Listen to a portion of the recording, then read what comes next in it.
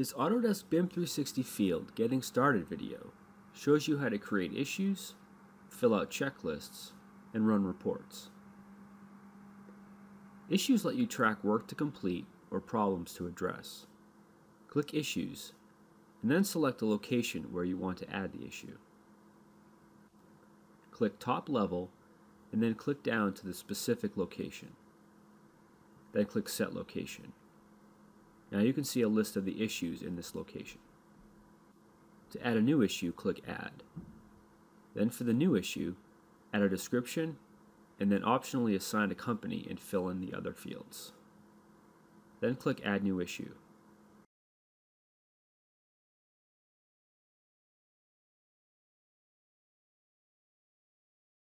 The issue appears in the location list as shown.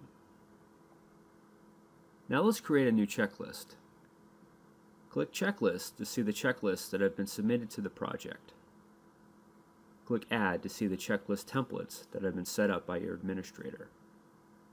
Select a template and click Add Checklist.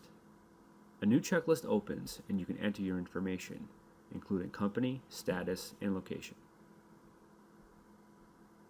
In this example, we'll add a QA-QC checklist. Note that adding a safety or a commissioning checklist is a nearly identical process.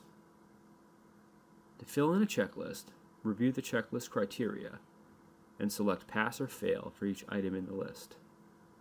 You can also optionally add details or assign as an issue. When done, click Save and Close. Now let's generate an issues report. Click Reports.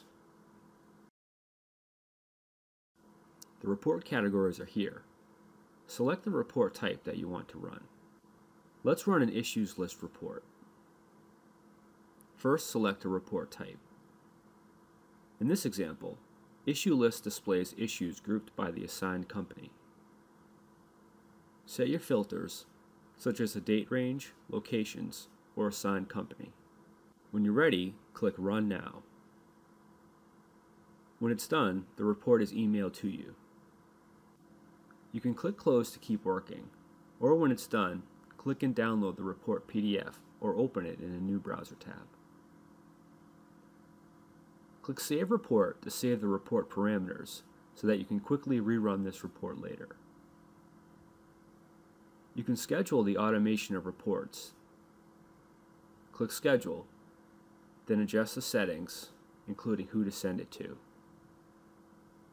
Schedule reports can be sent automatically to team members. When done, click Save Scheduled Report. When getting started with BIM 360 Field, learn how to use issues to track work to complete and problems to fix. With checklists, you can perform tasks such as monitoring QA-QC and safety processes, and perform commissioning on equipment systems. With reports, you can send information about issues and checklist results to stakeholders so that they can take quick action. You can also automate email distribution lists to keep stakeholders informed about project status.